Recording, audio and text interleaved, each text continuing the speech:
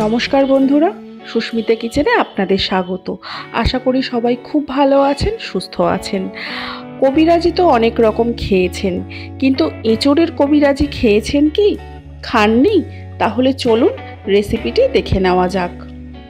এর জন্য লাগছে মাঝারি সাইজের তিনটে আলু, আর লাগছে দুশো গ্রামের মতো এঁচড়। এঁচড় আর আলুটা আমি সেদ্ধ করে নেব।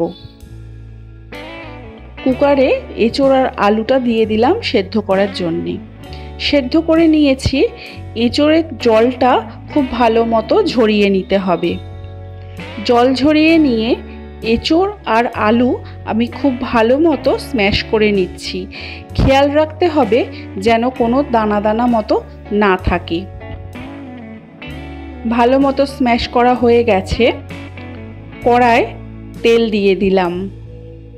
দিয়ে দিচ্ছি গোটা জিরে।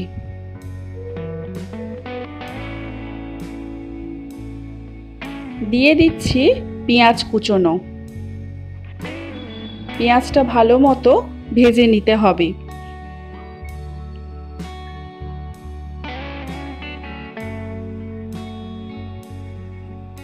দিয়ে দিচ্ছি খুব সামান্য পরিমাণে হলুদ গুঁড়ো।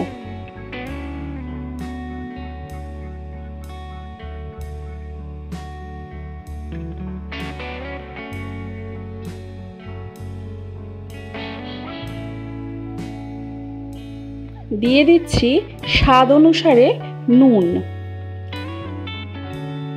আবারও পেঁয়াজটা একটু নেড়ে চেড়ে দিচ্ছি।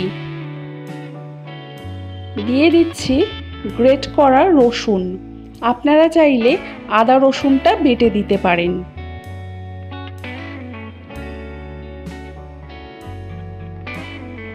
দিয়ে দিলাম গ্রেট করা আদা। আদা রসুনটা খুব ভালো করে কষিয়ে নিচ্ছি, যাতে আদা রসুনের কাঁচা গন্ধটা চলে যায়।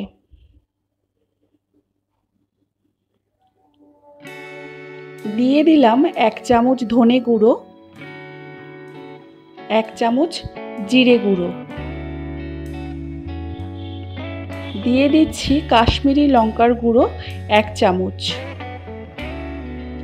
মশলাটা খুব ভালো করে কষিয়ে নিচ্ছি।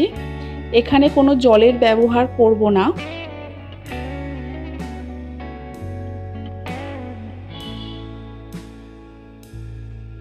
স্ম্যাশ করে রাখা এঁচড় আর আলুটা দিয়ে দিচ্ছি।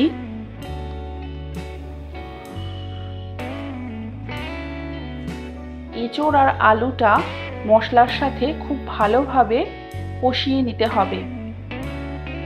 না হলে এঁচড়ের একটা কাঁচা গন্ধ থেকে যাবে। গ্যাসটা অবশ্যই লো ফ্লেমে রাখতে হবে।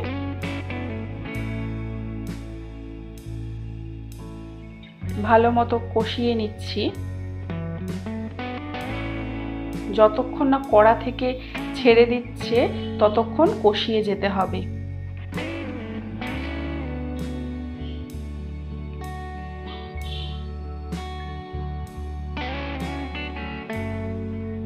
কষানো আমার একদম রেডি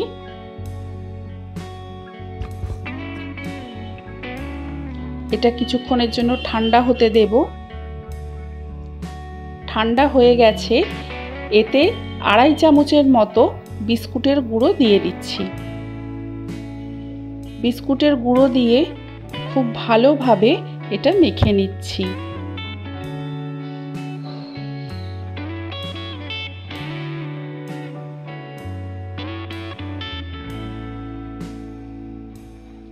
মাখা হয়ে গেছে। এবারে আমি কাটলেটের মতো করে শেপ দিয়ে তৈরি করে নেব। হাতে প্রেস করে করে জাস্ট কাটলেট যেমন হয় দেখতে, সেরকমই আমি তৈরি করে নিচ্ছি। সবগুলো একইভাবে তৈরি করে নেব। আমি আরও একটা দেখিয়ে দিচ্ছি।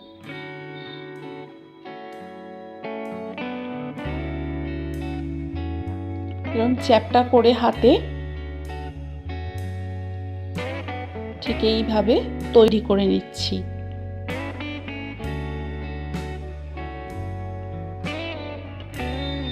এবারে একটা বাটিতে একটা ডিম ভেঙে নিলাম। এতে সামান্য পরিমাণে নুন দিয়ে দিলাম। দিয়ে দিচ্ছি গরম মশলার গুঁড়ো। খুব সামান্য দিয়ে দিচ্ছি গোলমরিচের গুঁড়ো। একসাথে ডিমটা ফেটিয়ে নিচ্ছি। এবার একটা করে কাটলেট ডিমের গোলায় ডুবিয়ে বিস্কুটের গুঁড়োতে কোট করে নিচ্ছি।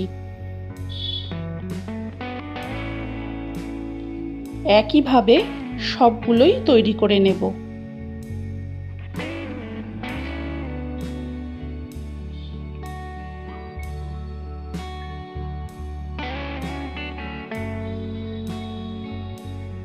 তৈরি হয়ে গেছে, এবারে আমি আধ ঘণ্টার জন্যে ফ্রিজে রেখে দেব।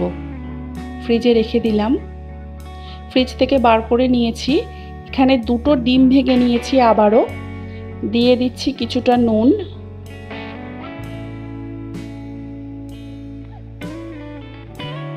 দিয়ে দিচ্ছি এক চামচ কর্নফ্লাওয়ার। খুব ভালো করে ফেটিয়ে নিচ্ছি। একটা কড়া বসিয়ে দিয়েছি। কড়াতে তেল দিয়ে দিলাম। ডিম আর কর্নফ্লাওয়ারের ব্যাটারে ডুবিয়ে এবারে ভেজে নেব। এবারে চারদিক থেকে ডিম আর কর্নফ্লাওয়ারের যে গোলাটা খুব অল্প পরিমাণে ছিটিয়ে ছিটিয়ে দিচ্ছি।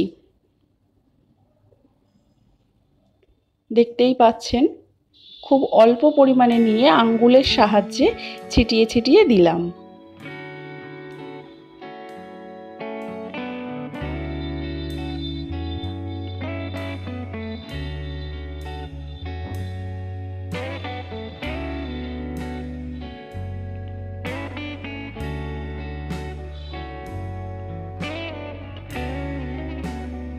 এবার এটাকে এরকম ভাঁজ করে তুলে নেব।